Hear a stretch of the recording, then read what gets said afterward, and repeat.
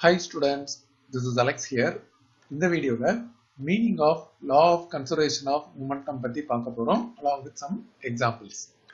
First, இந்த law of conservation of linear மூமெண்டமே வந்து ஒரு vector law மூமெண்டத்தோட both magnitude and direction are constant சில கேசஸ்ல it can also be zero so இந்த law of conservation of linear momentum அப்படின்றது ஒரு vector law and uh, இது வந்து நமக்கு என்ன தெரியுது அப்படின்னா போத் மேக்னிடியூட் அண்ட் டைரக்ஷன் ரெண்டுமே வந்து of the total linear moment வந்து கான்ஸ்டன்ட் சில கேஸில் ஜீரோவாகவும் இருக்கும். செகண்ட் பாயிண்ட் பார்த்தீங்கன்னா சப்போஸ் இப்போ ஒரு மோஷன் ஆஃப் பார்ட்டிகள் வந்து அனலைஸ் பண்ணணும் அப்படின்னா நம்ம வந்து எய்தர் நியூட்டனோட செகண்ட் லாவை யூஸ் பண்ணுவோம் or law of conservation of linear momentum use பண்ணுவோம்.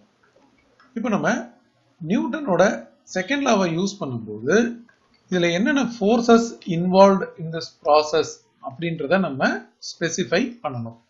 ஒரு ரியல் சுச்சுவேஷன்ஸ்ல இது வந்து டிஃபிகல்ட் பட் நம்ம ஒரு மோஷன் ஆஃப் பார்ட்டிக்கலை அனலைஸ் பண்ணும்போது law of conservation of linear momentum use பண்ணும்போது அதுல என்ன ஃபோர்ஸ்லாம் இன்வால்வ் ஆயிருக்கு அப்படின்றத ஸ்பெசிஃபை பண்ண தேவையில்லை.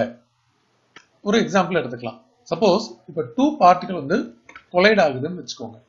நம்ம வந்து ஒரு பார்ட்டிக்கல் இது இன்னொரு பார்ட்டிக்கல் இது வந்து பிஃபோர் கொலேஷன் ஸோ ரெண்டும் it is like approaching each other அப்படின்னு எடுத்துக்கலாம். ஸோ இந்த பார்ட்டிக்கல் வந்து இதை அப்ரோச் பண்ணி வருது.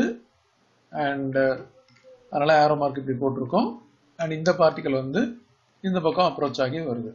So there approaching each other இது வந்து பிஃபோர் கொலேஷன் இப்போ கொலைட் ஆகுது அப்படின்னா ரெண்டும் வந்து coming in contact so collide ஆயிடுச்சு இப்போ. அதுக்கப்புறம் ஆஃப்டர் கொலேஷன் மறுபடியும் என்ன ஆகும் அப்படின்னு பார்த்தீங்கன்னா it will be away from each other so இந்த ஒரு பார்ட்டிக்கல் அண்ட் uh, இன்னொரு particle away from each other so after collision வந்து ரெண்டும் வந்து start moving in the opposite direction so முதல்ல எந்த டைரக்ஷன் வந்ததோ அதுக்கு ஆப்போசிட் டைரக்ஷனில் இப்படி மூவ் ஆகும்.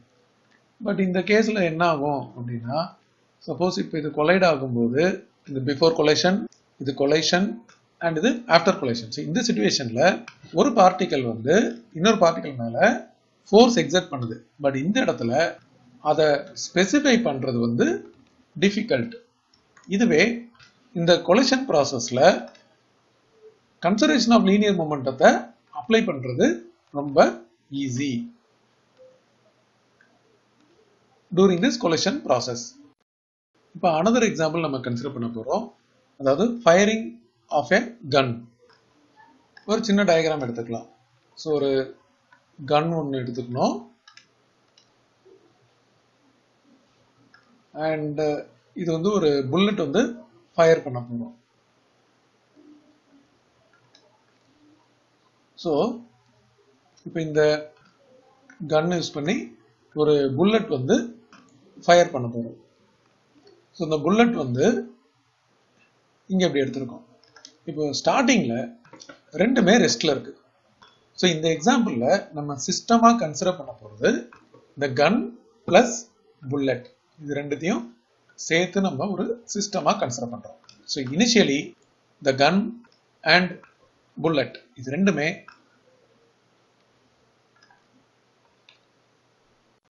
நெக்ஸ்ட் அனதர் எக்ஸாம்பிள் பாருங்க. ஃபயரிங் ஆஃப் எ கன் ஒரு சின்ன டயக்ராம் எடுத்துக்கலாம். ஸோ நமக்கு வந்து ஒரு கன் இங்கே இருக்கு. அண்ட் இது வந்து புல்லட் வந்து ஃபயர் பண்ண போகுது. ஸோ ஃபர்ஸ்ட் கன் வந்து இப்படி வரைஞ்சாச்சு. அண்ட் இது புல்லட் வந்து ஃபயர் பண்ண போகுது. இந்த புல்லட் வந்து இந்த இடத்துல எடுத்துக்கலாம். ஃபயர் பண்ண போகுது.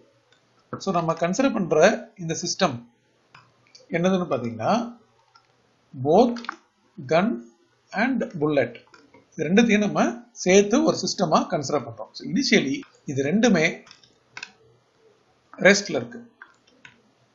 அதனால இந்த சிஸ்டத்தோட total linear momentum zero so ரெண்டுமே ரெஸ்டில் இருக்கிறனால இந்த சிஸ்டத்தோட டோட்டல் லீனியர் மொமெண்டம் வந்து ஜீரோ இப்போ இதில் புல்லட்டோட மொமெண்டத்தை வந்து பி ஒன் வெக்டர் அப்படின்னும் மொமெண்டம் ஆஃப் த கன் இது வந்து பி டூ வெக்டர் அப்படின்னு எடுக்கிறோம். இது வந்து பிஃபோர் ஃபயரிங் ஸோ இனிஷியலி இது ரெண்டுமே வந்து ரெஸ்ட்ல இருக்கு. அதனால இதோட value p one vector equal to zero and p two vector அதுவும் ஈக்குவல் டு ஜீரோ அதனால இப்ப total momentum before firing the gun அப்படின்றத பார்த்தீங்கன்னா டோட்டல் momentum வந்து நம்ம இதை எடுத்து கம்பைன் பண்ணா p one vector plus p two vector அப்படின்னு போடுவோம் விச் இஸ் ஜீரோ இப்போ law of conservation of momentum என்ன சொல்லுது அப்படின்னா லீனியர் மூமெண்ட் வந்து கன்சர்வ்டு அதாவது இந்த total momentum before and after வந்து சேமா இருக்கணும். அப்போ பிஃபோர் ஃபயரிங் ஜீரோ அப்படின்னும் போது according to the law of conservation of linear momentum after firing எப்படி இருக்கணும் அப்படின்னு பார்த்தீங்கன்னா ஜீரோவா இருக்கணும். அப்போதான் லீனியர் மூமெண்டம் வந்து டோட்டல் லீனியர் மூமெண்ட் வந்து கன்சர்வ் அப்படின்னு சொல்லுவோம். அதுதான் law of conservation of linear momentum இப்போ இனிஷியலா ரெஸ்ட்ல இருக்கும்போது என்ன இருக்கு அப்படின்றத நம்ம பார்த்தாச்சு. இப்போ கன் இஸ் ஃபயர்டு இப்போ என்ன ஆக போகுது அப்படின்றத பத்தி பார்க்க போறோம். ஸோ கன்ல இருந்து புல்லட்டுக்கு ஒரு ஃபோர்ஸ் வந்து எக்ஸட் ஆகுது. ஸோ கன்னோட ஒரு பார்ட் நம்ம இங்க எடுத்திருக்கோம். அண்ட் புல்லட் uh, வந்து இப்போ ஃபயர் ஆயிடுச்சு. அப்போ என்ன ஆகுதுன்னா புல்லட் வந்து இந்த இடத்துல இப்படி வருது. ஸோ இதில் வந்து என்ன ஆகுதுன்னு பாருங்க. ஒரு ஃபோர்ஸ் வந்து எக்ஸர்ட் ஆகுது. கன் வந்து புல்லட்டுக்கு ஒரு ஃபோர்ஸ் வந்து ஃபார்வர்ட் டைரக்ஷனில் கொடுக்குது. Force is exerted by the gun on the bullet இப்போ இதோட மொமெண்டம் சேஞ்ச் ஆகும். ஸ்டார்டிங்ல என்ன எழுதிருந்தோம் ரெஸ்ட்ல இருக்கும்போது மொமெண்டம் ஆஃப் த புல்லட் வந்து பி ஒன் வெக்டார் அப்படின்னு எடுத்திருந்தோம். ஸோ அது என்ன ஆகுது அப்படின்னா பி ஒன் வெக்டார்ல இருந்து பி ஒன் டேஷ் வெக்டாருக்கு சேஞ்ச் ஆயிடுச்சு நியூ வேல்யூ ஆயிடுச்சு. So according to the law of conservation of the linear momentum இப்போ பி டூ வெக்டார் இருக்கு இல்லையா? பி டூ வெக்டார் அப்படின்றது momentum of the gun so அதுவும் இப்போ நியூ வேல்யூக்கு சேஞ்ச் ஆயிடுச்சு. பி டூ டேஷ் வெக்டார் அப்படின்னு. இப்போ total linear momentum after firing வந்து p one dash vector plus p two dash vector and இதுவும் இப்போ ஜீரோ இருக்கணும். ஏன் அப்படின்னா இப்போதான் பார்த்தோம். According to the law of conservation of linear momentum fire ஆன பிறகு இந்த டோட்டல் லீனியர் மொமெண்டமும் ஜீரோவா இருக்கணும். அதனால இப்போ ஜீரோன்னு போட்டிருக்கோம். அப்போ இதுல இருந்து p one dash vector equal to minus p two dash vector அப்படின்னு நமக்கு தெரியுது. அதாவது இந்த மொமெண்டம் ஆஃப் த கன் வந்து exactly equal to the momentum of bullet but இது மைனஸ் இருக்கு. அதனால அதை ஆப்போசிட் டைரக்ஷன் அப்படின்னு சொல்லுவோம். இந்த மொமெண்டம் ஆஃப் த கன்னும் மொமெண்டம் ஆஃப் த புல்லட்டும் எக்ஸாக்டா ஈக்குவலா இருக்கு. பட் ஆப்போசிட் டைரக்ஷன்ல இருக்கு. அதனாலதான் ஆஃப்டர் ஃபயரிங் என்ன ஆகுதுன்னு பாத்தீங்கன்னா கன் வந்து பேக்வேர்டில் மூவ் ஆகும். சடனா with momentum minus p two vector so இந்த பேக்வர்ட் மூமெண்ட்டை நம்ம ரீகாயில் மூமெண்டம் அப்படின்னு சொல்றோம். அனதர் எக்ஸாம்பிள் பாருங்க. இப்போ நம்ம வந்து டூ பார்ட்டிகளை கன்சிடர் பண்ண போறோம். ஒன்று வந்து ரெஸ்ட்ல இருக்கு and other moves towards the first particle so ஒரு பார்ட்டிக்கல் வந்து ரெஸ்ட்ல இருக்கு. அந்த ரெஸ்ட்ல இருக்க பார்ட்டிக்கலை நம்ம இது மாதிரி எடுத்துக்கலாம். அண்ட் இன்னொரு பார்ட்டிக்கல் வந்து moving towards the first particle which is at rest so இன்னொரு பார்ட்டிக்கல் வந்து இங்கிருந்து approaching the first particle which is at the rest so இது அப்ரோச்சிங் அப்படின்னும் போது இந்த டைரக்ஷன்ல இப்படி மூவ் ஆயிட்டு இருக்கு ஸோ இதோட மாஸ் வந்து எம் ஒன் அப்படின்னும். இதை எம் டூ அப்படின்னு எடுத்துக்கலாம். அண்ட் இது வந்து ரெஸ்ட்ல இருக்கு.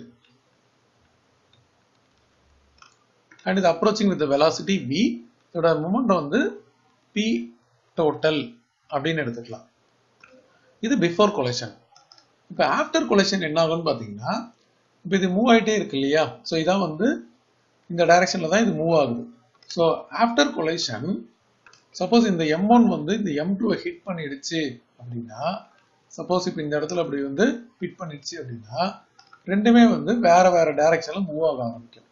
ஸோ இந்த பார்ட்டிக்கல் ஃபார் எக்ஸாம்பிள் இந்த பக்கம் வந்துடும் and at the same time இந்த பார்ட்டிக்கல் இன்னொரு டைரக்ஷன்ல மேபி இந்த இடத்துல மூவ் ஆக ஆரம்பிக்கும்.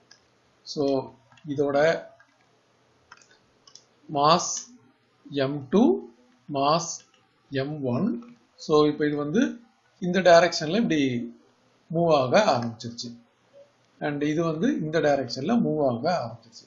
That is after collision and முதல்ல ரெஸ்ட்ல இருந்த இந்த பார்ட்டிக்கல் இப்போ வெலாசிட்டி வி டூ ஆயிடுச்சு இது வி ஒன் ஆயிடுச்சு. பட் இதோட மொமெண்டம் வந்து பி டோட்டல் அப்படின்றத நம்ம இங்கே எடுத்திருக்கோம். இந்த டோட்டல் மொமெண்டத்தோட டைரக்ஷனை பாருங்க. இந்த total momentum vector before and after collision பார்த்தீங்கன்னா ரெண்டுமே points in the same direction so இந்த இடத்துல நீங்கள் பார்க்கலாம். இங்கே எந்த டைரக்ஷனில் இருக்குது இப்படி இருக்குது அதே தான் நமக்கு இங்கேயும் இருக்குது ஸோ இந்த total momentum vector before and after collision ரெண்டுமே வந்து ஒரே டைரக்ஷன்ல இருக்கு. ஸோ அதுல வந்து நமக்கு என்ன தெரியுது அப்படின்னா இது வந்து constant before and after collision அப்படின்றது தெரியுது. டோட்டல் மொமெண்டம் வந்து constant before and after collision ஏன்னா ரெண்டுமே pointing same direction at the time of collision இந்த ரெண்டும் வந்து ஒன்னோட ஒன்று கொலைட் ஆகும்போது என்ன ஆகுதுன்னா each particle exerts a force on the other so collision நடக்கும்போது ஒவ்வொரு பார்ட்டிகளும் இன்னொரு பார்ட்டிகள் மேல ஒரு ஃபோர்ஸை எக்ஸர்ட் பண்ணும்.